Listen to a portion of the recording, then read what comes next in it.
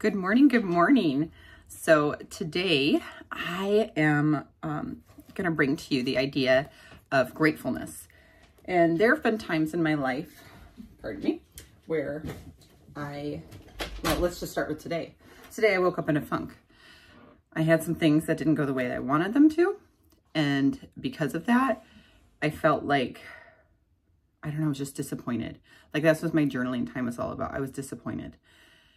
And I even remember kind of going, Lord, I'm reading this book and it's not filling me spiritually. Like there's moments where I have aha moments, but it's not a it's not a biblically based or spiritual book. So I was like, I'm going to you first. I want to do what I said I was going to do and finish every book that I pick up, even if it gets a little dull or dry or whatever in the moment. I've been sick, so it's been um, an interesting journey for me these last few weeks. Since Christmas, I've been sick.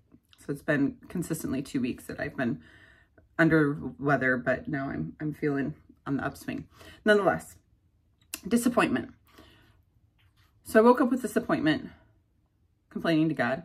He can handle it. So I've learned that it's okay.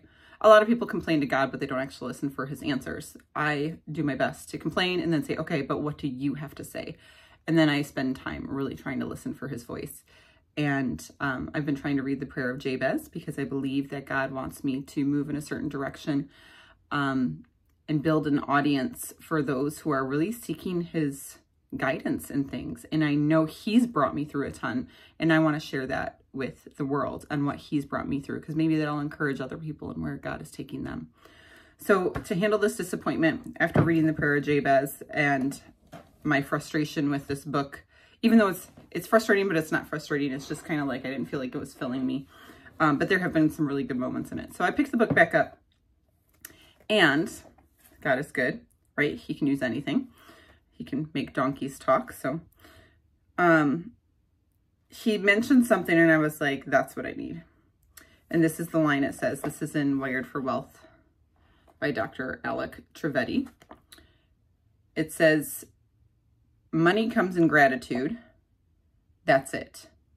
Gratitude is the gateway to the income that you desire. Anything other than gratitude activates the law of repulsion. If you do not find gratitude, it will hold you back. So he's talking directly with money, but that's true in everything with gratitude, right? If we don't find gratitude for even the difficulties in life, we'll be held back. So the growth mentality, right, is learning from everything. You get stuck when you just look at the problem. But if you can say, God, there is something I'm supposed to be learning from this. What is it? And thank you for that difficulty because now I know whatever it is that you need to learn. And in this this morning, Lord, thank you that I was struggling with disappointment because you're going to show me how to overcome that. Gratitude is the key. I'm thankful for the difficulties, and you should be too. And if you go back to James 1, it talks about how that we have to go through the struggles, we have to go through the difficulties. The quote isn't coming to me right now, but it's in there. that those are the things that develop our character and our perseverance. And we will not be complete until we know how to walk through those things. You literally cannot be the person God designed you to be unless you walk through difficulty. Christ walked through the most horrific things. He's our example. You can sit on that for a little bit. All right. God bless you all. Walk in gratitude in whatever place God has you today. And have a beautiful and blessed day.